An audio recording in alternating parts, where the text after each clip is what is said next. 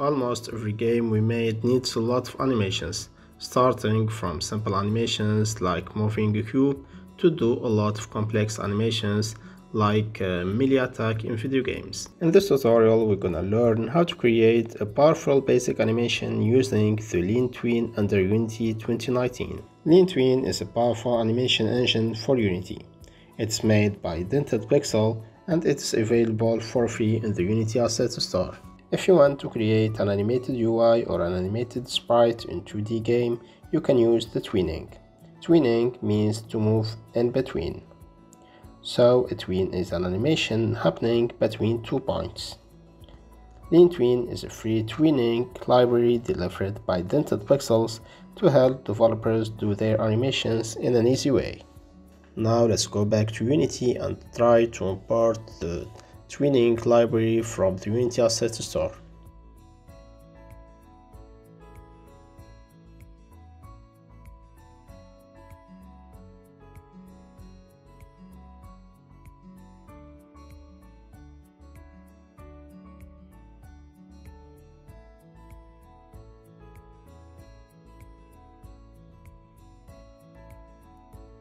Now our Lean Tween library had been imported.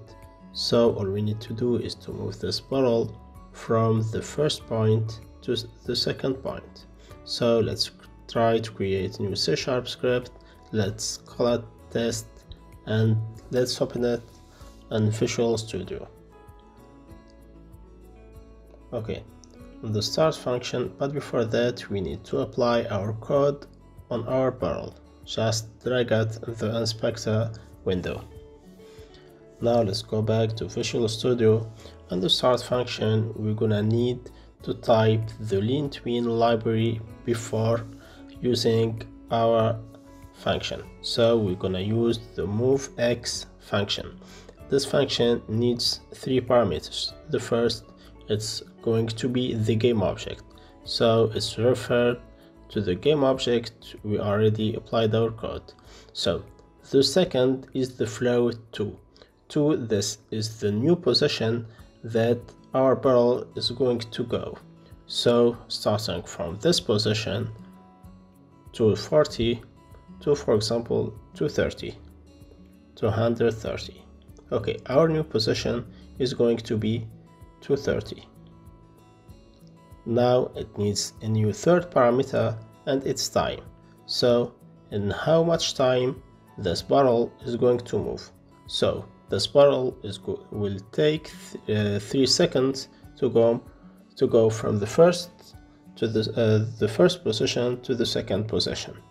Now I'm sorry let's go back and let's put it in the initial position. Now as you see it's going to go in 3 seconds between the first point and the second. If we go back to our code, and let's try to put 10 as a time so it will be slowed to go it will take 10 seconds uh, 10 seconds to go from the first point to the second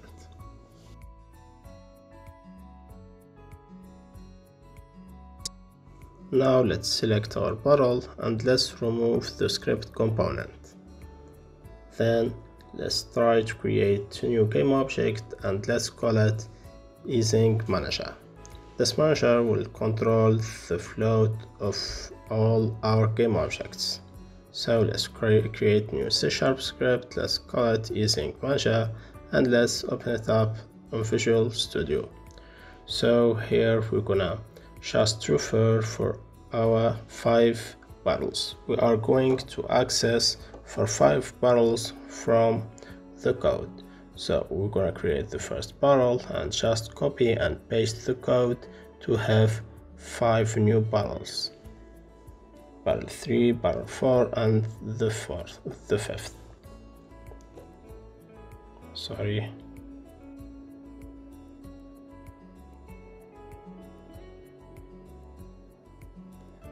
Now let's just go back to Unity and let's uh, apply our code on our easing game object okay now let's lock the view and let's uh, just select our barrel and move it in the y position. Then let's duplicate it four uh, four more times. So three four and five. Now let's select the first barrel and drag it on the first slot the second on the second slot and the third to the third slot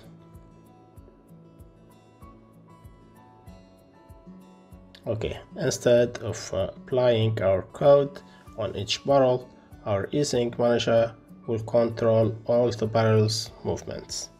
Now let's go back to our code and let's do the same work we did it on the last uh, on the last uh, code on the test code but here let's just access our library move and let's move on the y position so let's move our barrel to the position 6 in 2 seconds.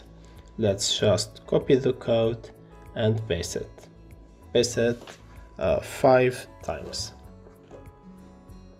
The barrel 2 then the third barrel the fourth and the fifth.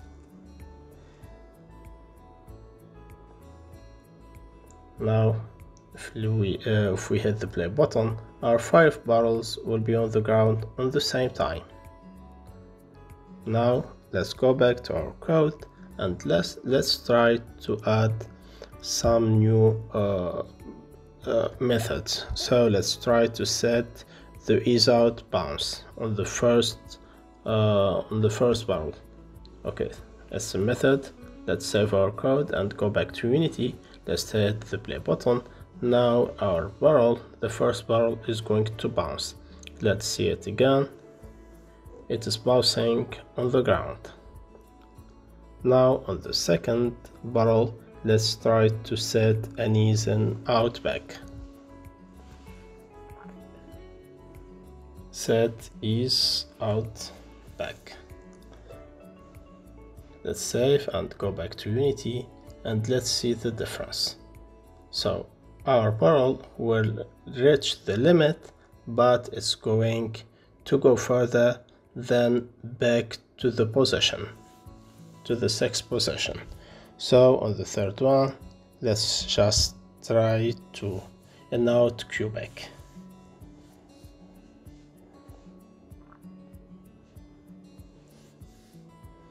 then let's try to use the uh, ping pong method so our, the behavior of the animation is going to be like a ping pong ball.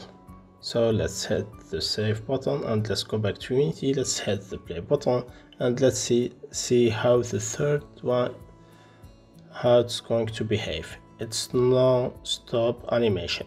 It's going to stay like this. Okay now on the fourth one let's uh, okay let's use a, a linear linear animation. Set is linear then let's use the ping pong again.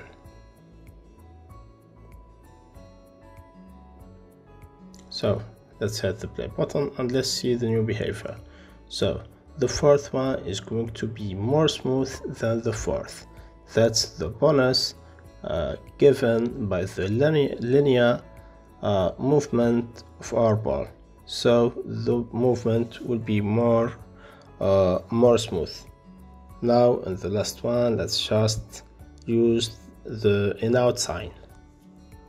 Set is in out sine and then let's try to use the same one uh, the same method of the set ping pong the looping ping pong. So it's a loop. It's going to run every time it. Finishes it finishes